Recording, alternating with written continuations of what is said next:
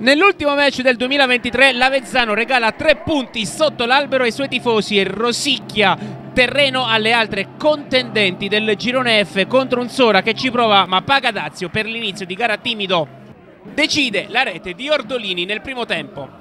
Calcio d'inizio per i padroni di casa, pronti via e occasionissima per gli abruzzesi. Mascella si ritrova tutto comodo il pallone nel cuore dell'area avversaria, ma ci abbatte la conclusione. Poco male perché al tredicesimo si sblocca il risultato. Filippini Pennella ancora per Mascella. Simoncelli riesce a salvare i suoi. Sul proseguo dell'azione Ortolini controlla il pallone, collo pieno e bordata. Sotto il 7 per l'1-0 locale. La prima azione pericolosa dei Volci arriva arriva solo al quarantesimo.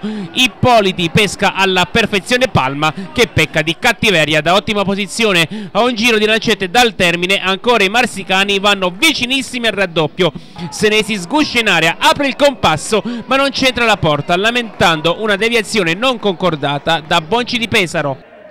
Nella ripresa l'11 del presidente Pecorelli va ancora vicino al raddoppio, Senesi fa spallate con Orazzo, cross al bacio per Ortolini che impatta ma non c'entra il bersaglio grosso, sciupando un'ottima chance al 65esimo risponde il Sora. Il neoentrato Gubellini riesce solo a spizzare l'invito di Chiriglio. I bianconeri spingono su pallone perso banalmente. Gubelini e Hiriglio non riescono a deviare e cadono a terra. Vibranti le proteste della formazione di Mister Campolo che chiedeva la massima punizione. La gara procede senza troppi sussulti.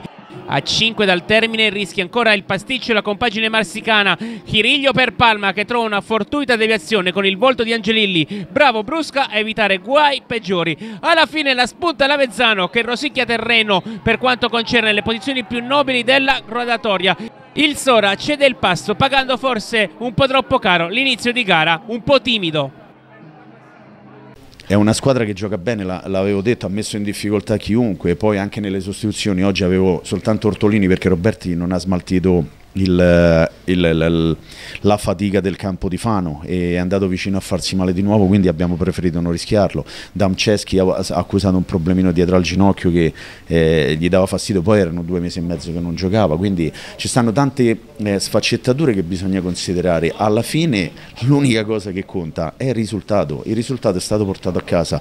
È normale che non, non c'è da lustrarsi gli occhi, ma io non credo che in questo girone quando gli altri vincono 1-0 andiamo a vedere se hanno giocato bene o hanno giocato male. Quello che conta per me sono i tre punti e oggi sono stati portati a casa e ribadisco, siamo secondi in classifica, lo ribadisco con grande forza. No, no, assolutamente no. È stata una partita un po' iellata per certi aspetti, perché l'unica occasione che abbiamo concesso ha fatto un gran gol. Ha fatto complimenti al ragazzo che ha fatto gol. Peccato, come approccio, secondo me non è stato timido, è stato un approccio che comunque giocavamo contro una grande squadra che veramente ha investito tanto, punta a vincere il campionato, ma tra le due squadre oggi chi sembrava che dovesse vincere e giocava meglio siamo stati noi, nettamente. Però il calcio è letale, è bello anche per questo, abbiamo vinto in passato qualche gara giocando meno bene, per cui bisogna subito andare adesso in pausa, quindi facciamo gli auguri a tutti, oltretutto ne approfitto.